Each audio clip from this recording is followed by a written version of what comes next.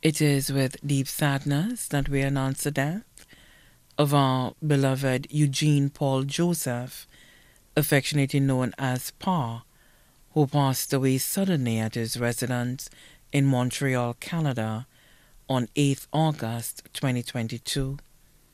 He was originally from Westall Group V4. He was 59 years old. Left to mourn, his wife, Jolene Lawrence in Montreal, Canada. His adopted mother and aunt, Dr. Morella Joseph. One daughter, Rhea Collymore. Brothers, Albert Joseph and family residing in the U.S. Harold Joseph residing in Barbados. Austin Joseph.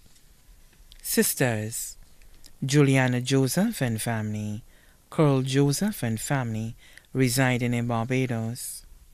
Aunt Marilyn Joseph. Uncle Clifton Joseph. Many nieces, nephews, and cousins, both here and abroad, including Kathy Williams and family in Toronto, Canada. Dr. Cordelia Ambrose and family. Hamil and O'Neill Fontenelle and family.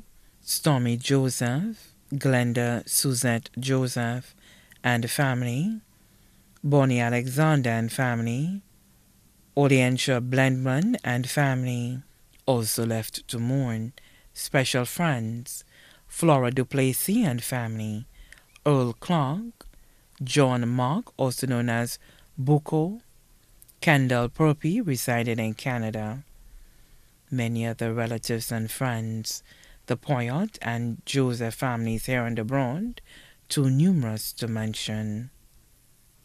The funeral service will be held on Friday, 30th September 2022 at the Lady of the Assumption Church V4 at 10 a.m.